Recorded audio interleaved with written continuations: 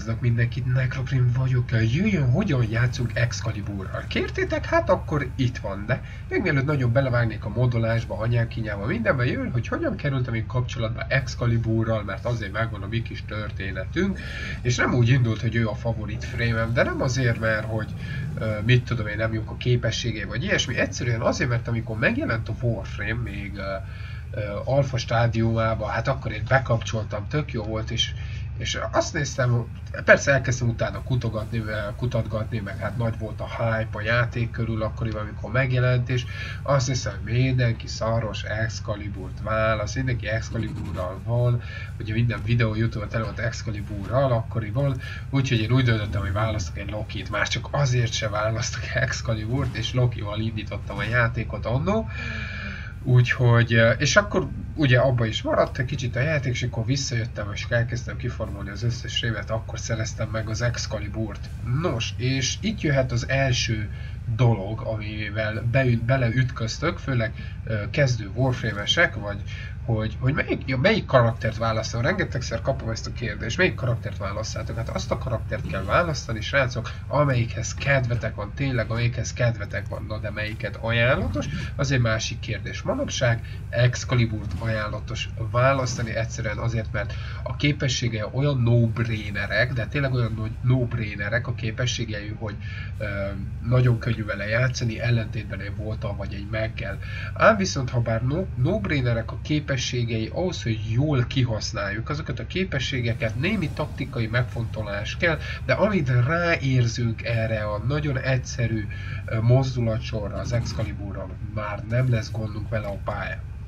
Nos, viszont megválasztjuk az Excaliburt, ugye, és uh, apró gondokba ütközünk. Tehát az elején nagyon jó és nagyon, nagyon erős, aztán elkezdenek az enemik erősödni, vagyis inkább mi kezdünk el jobban játszani, erősödni, megszerezni a jobb modokat, erősíteni az Excaliburukat, és egyre tovább húzni a bizonyos limitet a bizonyos játékokon, és észreveszünk, hogy akkor elkezd kicsit gyengülni az Excalibur, és hip-hop itt-ott esedékeny lesz a kicsike még akkor is, hogyha azt a bizonyos kis apró technikáját, taktikáját alkalmazok, ami az Excaliburnak a sajátossága, én úgy gondolom, és sokan, sokszor látom azt, hogy az Excalibur, bár ott van a pályákon, és csak úgy szerepel ott a sokszor a játékokban, a legtöbb játékostól, mint egy szép fiú. Tehát az Excalibur tényleg rettenet jól néz ki, jó felépítése a testek, minden, de a legtöbben úgy használják ott, mint egy szép fiú, egy szép kis uh, energiakarddal a kezébe, és suhi swingálnak jobbra-balra, és akkor azt hiszik, hogy az Excalibur egy masszív tank,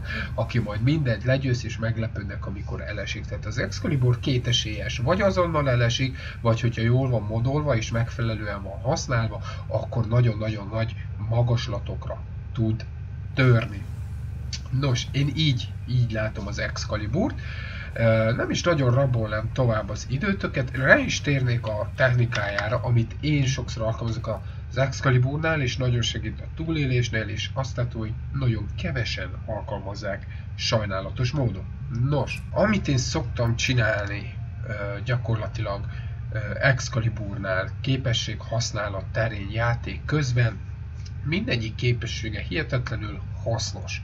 Mindegyik képességét, ha használod, nagyon jól ki tudsz jönni a csatából, de úgy gondolom, hogy taktikai szempontból egy képesség nagyon kiemelkedik, és az a Radial Blind. A Radial Blindot látom legkevesebbet használni a játékosoknál, mindig vagy az egyes, vagy a hármas szokták használni, a négyes leszámítva, mert az természetes, hogy mindenki a négyest használja, mert hogy miért ne de a Radial Blind a kettes képessége elképesztően hasznos, és a legjobban ki tud húzni a csávából. Én úgy gondolom, ez egy kulcs fontosságú képesség, és alapjáraton is egy nagyon erős képesség tud lenni, úgy értem, nagyon nagy range tud hatni a Radial Blind, és akkor ugye az ultia egyértelmű, hogy használni fogod egy idő után, mert szükségessé válik. Na most, erre dolgoztam ki, őszinte leszek veletek már nagyon régen egy modolás, de úgy érzem, hogy ez a modolás fantasztikusan megállja a helyét, akárhova megyek vele, viszont ugye megvan neki a gyengéje, erőssége, stb. amihez majd mutatok kardot is, ami szükségeltetik esetleg, hogy jobban működjön az ultiával együtt, stb. De nem is lényeges igazából, hogy modol a kardot, hanem egy mod fontos, hogy a kardodban is benne legyen. Ez lenne a solo survivor modolásom, amit láthatjátok. Power duration csak 40%, miért? Mert én szeretem spamelni a kettes, tudom, nagyon sokan megemelitek a duration azért, hogy a kettes hosszabb ideig tartson. Viszont egy probléma van, hogyha hosszú ideig tart a kettes, nem tudjátok újra az újonnan beérkező enemiket megvakítani. És hogyha hosszú ideig tart a kettes, akkor az újonnan beérkező enemik már könnyedén le fognak tudni lőni. Szóval, ha spamelni tudod a kettest, akkor az újonnan beérkező enemiket is meg tudod vakítani. Max effektivitása, hogy kevés az energiahasználás, power range 115%, ezzel nagyjából 28 méterrel 6 kiváló, megfelelő táv, mert az Excalibur amúgy is egy közelharcos, mondjuk úgy közel kell kerülni az ellenféhez, nem az a lövöldözős fajta, és a Power Strength 115 bőven elég. A lényeg az, hogy ledarálja idővel az ellenféleket, nem az, hogy azonnal megölje őket. Solo Survivor buildről van szó, ezt ajánlom szeretettel, amit látjátok nálam, a Rejuvenation, az Aura mod, folyamatos hílér. És most rátérek gyorsan kardra, mielőtt elfelejtem, bármilyen kardot modolhatsz neki, oké? Okay? Az ultia úgy működik, hogy hatnak rá elementel modok, és crit modok, és erő modok, és boldog vagy, szóval akármit raksz vele, a te választásod, és az úgy van jól kitalálva.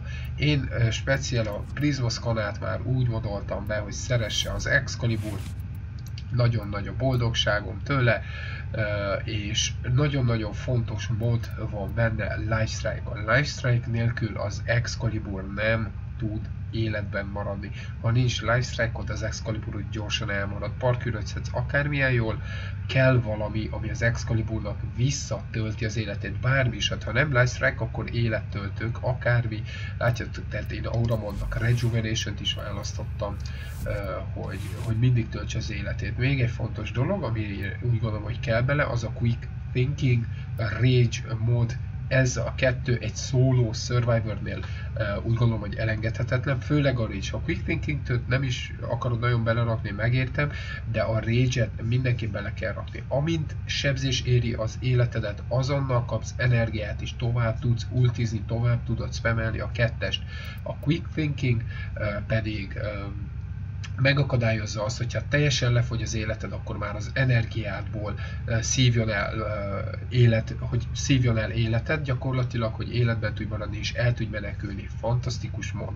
És ezt a modolást srácok még azelőtt csináltam meg, ami előtt bejöttek a tenú iskolák, ezért bármelyik tenú iskolának ajánlom szeretettel. Tényleg bármelyik iskolával működik. Zenolika legkevésbé nincs értelme, nem törti az energiát, ugye ulti közben, de nincs pánik. Tehát bármelyik, bármelyik iskolával lehet használni halálnyugodtan. A következő modolást úgy szeretem hívni, hogy a Raid modolás.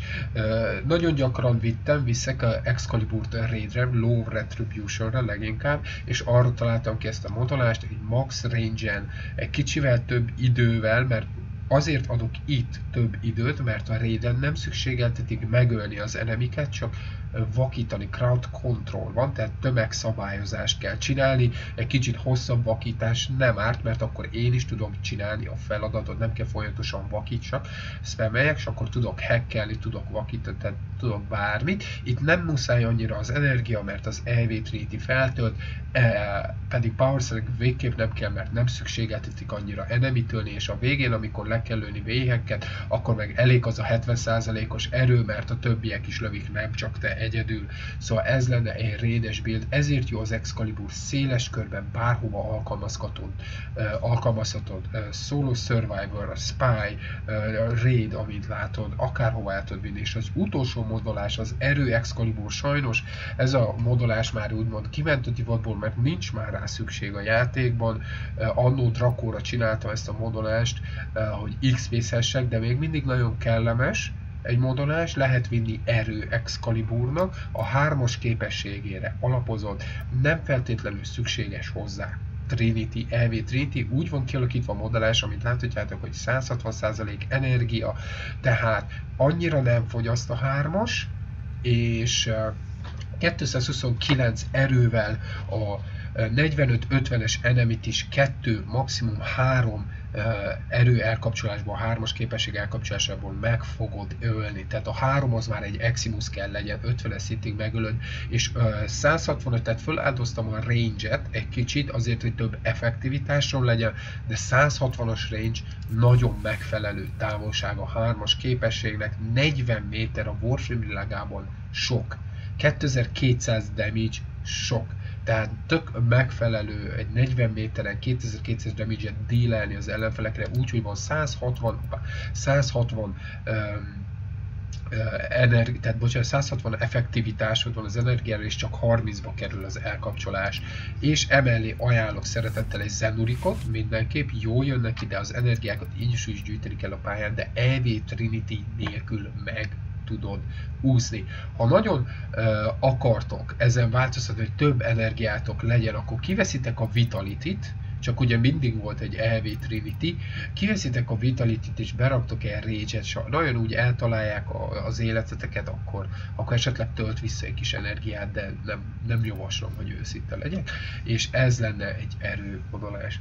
Srácok, én így képzelem az excalibur ezek a modolások még azelőtt származnak, hogy megjelentek a Tenno iskolák, és még mindig nagyon erősítezik az Excalibur-t, és ne feledkezzétek meg a Lifestrike-ról a kardban, eh, hogyha arról van szó, és és mit akartam még mondani? Ja igen, hát jó játékot vele, egy egyik legerősebb karakter tud lenni, tényleg fantasztikus meneteket mentem vele, és nagyon jól bírja, de ö, szüksége van neki egy-két kulcsfontosságú módra, hogy jól működjön a drága. Köszönöm a figyelmet, a következő videóig sziasztok, ha tetszett amit láttatok, akkor a csatornámon találjátok meg a többi videót. Sziasztok!